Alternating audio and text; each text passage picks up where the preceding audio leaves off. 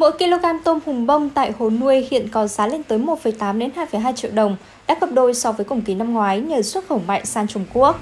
Tại các cửa hàng hải sản đang bán khoảng 2,4 triệu đồng một kg tôm hùm bông và gần 1,5 triệu đồng một kg tôm hùm xanh. Nguyên nhân khiến giá tôm hùm tăng mạnh là vì nguồn cung giảm, bởi người nuôi các vụ trước đó chịu lỗ quá nhiều nên một số hộ đã ngưng nuôi lại.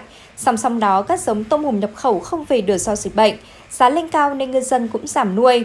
Một lý do khác là thị trường lớn Trung Quốc tăng mua trở lại nên đẩy giá lên cao. Dịch Covid-19 khiến nhiều ngành nghề và hoạt động buôn bán đình trệ, nhưng thị trường xe đạp lại bùng nổ.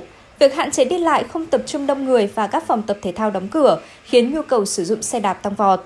Tại nhiều cửa hàng xe đạp, việc mua bán khá sôi động, tình trạng cháy hàng thường xuyên diễn ra do số lượng xe không đủ đáp ứng nhu cầu thị trường.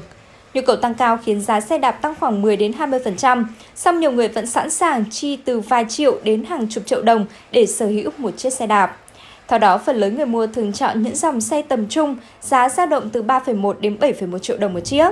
Những dòng cao cấp hơn có giá từ 10 đến 30 triệu đồng một chiếc, thậm chí lên đến 70 đến 80 triệu đồng một chiếc. Ngày 7 tháng 6, Bộ Nông nghiệp, Thực phẩm và Nông thôn Hàn Quốc Mafra cho biết nước này đã có kế hoạch xuất kho 80.000 tấn gạo ra thị trường trong tháng 6 này nhằm bình ổn giá và đối phó với tình trạng thiếu nguồn cung.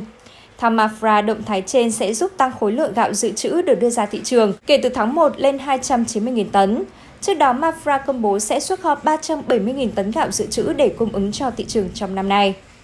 Năm ngoái, tổng sản lượng gạo của Hàn Quốc chỉ đạt 3,51 triệu tấn, ít hơn 120.000 tấn so với mục tiêu quốc gia hàng năm là 3,63 triệu tấn. Tình trạng thiếu hụt gạo diễn ra khi Hàn Quốc hứng chịu nhiều cơn bão mạnh, bao gồm bão Mai Sak, Hai Sen và trải qua một mùa mưa dài kỷ lục kéo dài trong 54 ngày.